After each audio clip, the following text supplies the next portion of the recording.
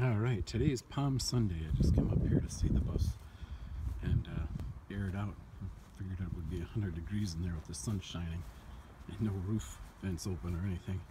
So I opened up the doors and uh, it's up at Cusson Automotive. So I'll show you the inside. I wanted to, I didn't have any pictures to show the inside before. So this is what it is going in the back door. What it looks like in here. We've taken down the lights. Used to be a row, two rows of fluorescent lights in here, so we took these down. And uh, so you can see there's cabinets here. And uh, it's a little dirty. I think it'll, I opened some windows too. It would pass through um, as an RV. I'm hoping to get the title changed. That's the, sort of the challenge.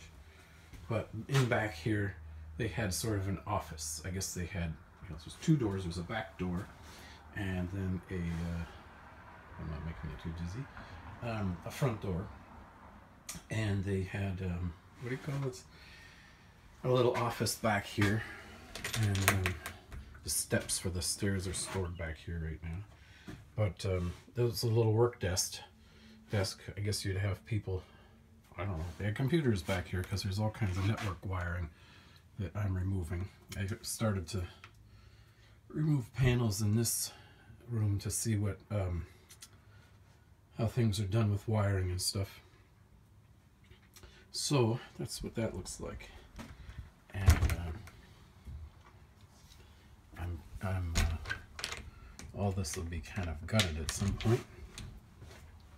But, you can hardly see in here with the sun shining so bright. Isn't that great?